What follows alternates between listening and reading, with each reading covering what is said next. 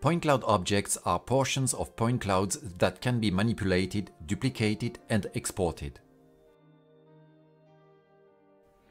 This function is very practical for quickly simulating an equipment transfer. OpenScanTools makes it easy to create these elements. There are two methods. Creation from a clipping box and importing a point cloud. To import, simply import a point cloud and specify the method for placing it.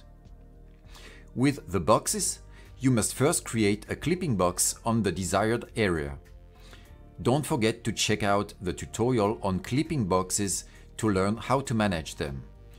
In the Import tab, we will choose the creation of the point cloud object from a box.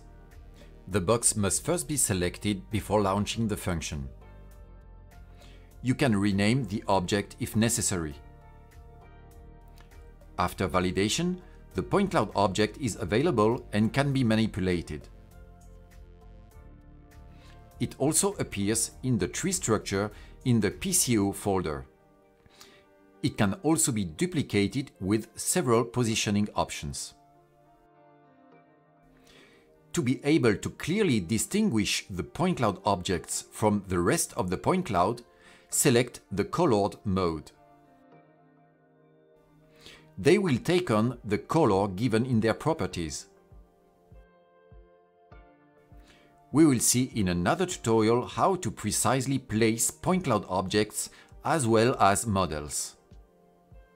You can also export point cloud objects with several options.